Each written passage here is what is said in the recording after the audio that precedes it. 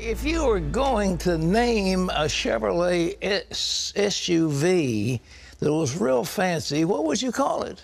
Hmm. I'd have to think about that because I'd want something really creative. It's called a Denali. And a Denali, yes. Yeah. And guess what? Oh no.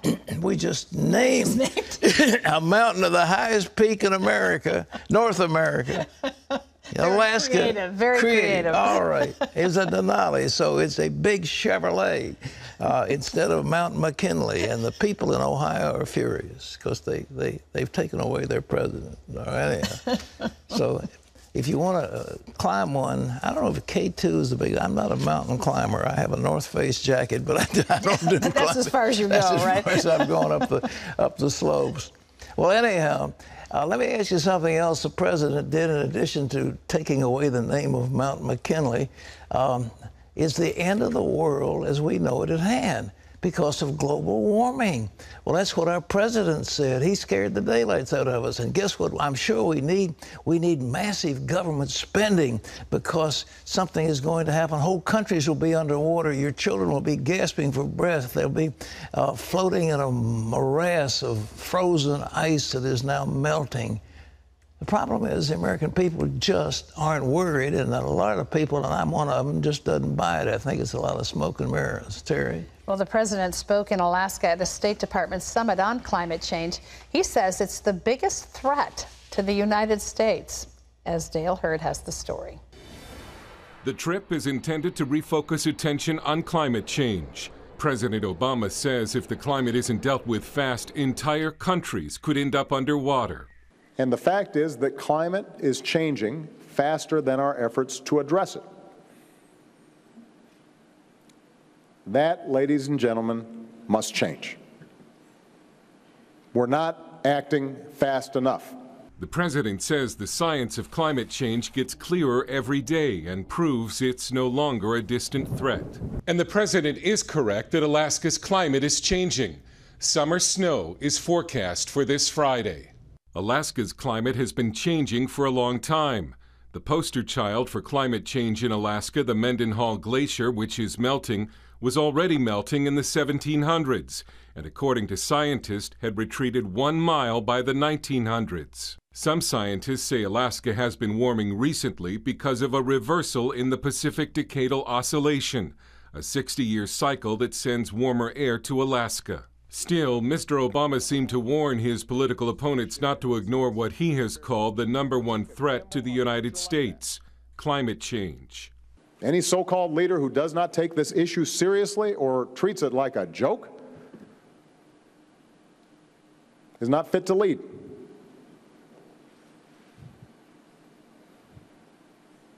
On this issue of all issues, there is such a thing as being too late. That moment is almost upon us. That's why we're here today. But regular Americans do not take the issue seriously.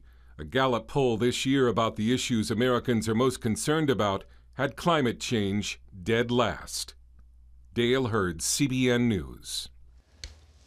Well, you know, if the president wants to do something, he's got to force China and India into the fold because they're the big polluters. It's not the United States. But what he wants to do is, is make a major grab to take over more of American industry. He wants to take over the coal industry. He wants to take over the gas powered uh, electric industry. He wants to take over the uh, manufacturing industries. He wants the government to control it all, and it'll be in the name of climate change. I'm going to keep you from this horrible thing that is lurking at your doorstep. It's all smokescreen to mask a, uh, well, a interventionist agenda. That this is part of. He's tried to take over the healthcare industry. and done a pretty good job of taking it over. Uh, he wants to take over the uh, financial industry. He wants control of everything. That is the progressive agenda. So anyhow, that's the way it is. Now, ladies and gentlemen, people are warning uh, the recent Supreme Court decision uh, giving constitutional protection to the mar- marriage of two homosexual men or two lesbian women. Um, that uh, was questionable, and Chief Judge Roberts said it very well. Who do you think? Who do we think we are coming down with something that has been uh, an established norm of society for hundreds and hundreds of years.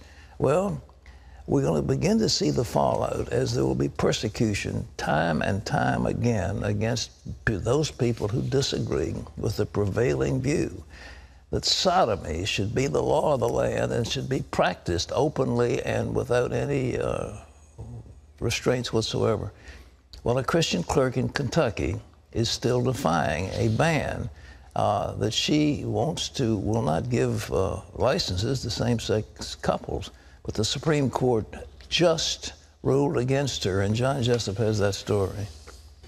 That's right, Pat. The continued refusal to issue marriage licenses comes after the Supreme Court ruled against the Kentucky County Clerk, who stopped issuing them because of her Christian convictions and opposition to gay marriage.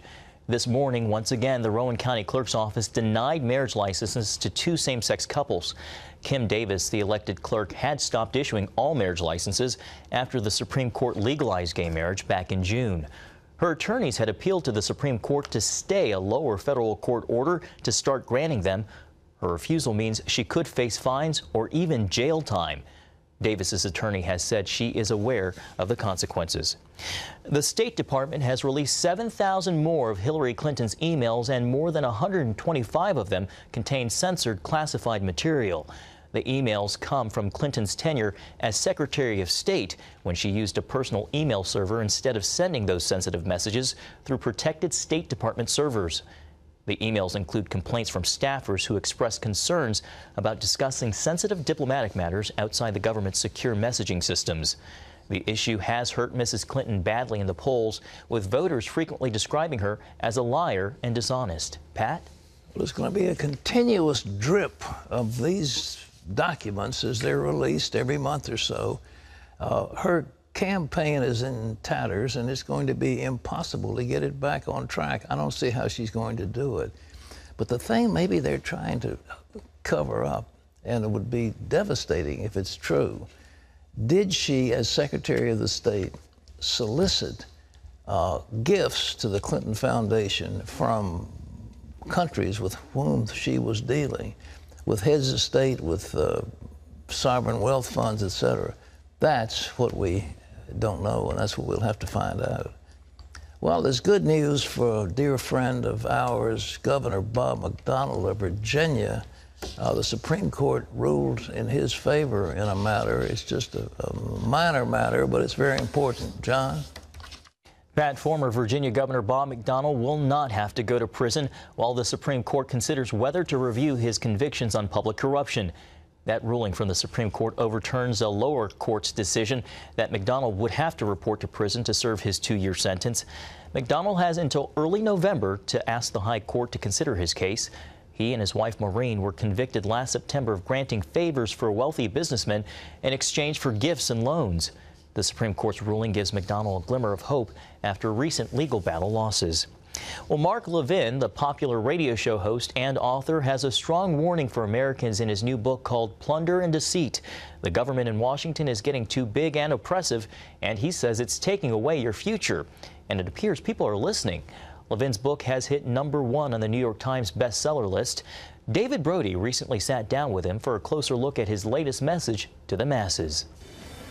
On the radio, Mark Levin pulls no punches with his millions of listeners. We're fighting for our society and the Constitution. What are they fighting for?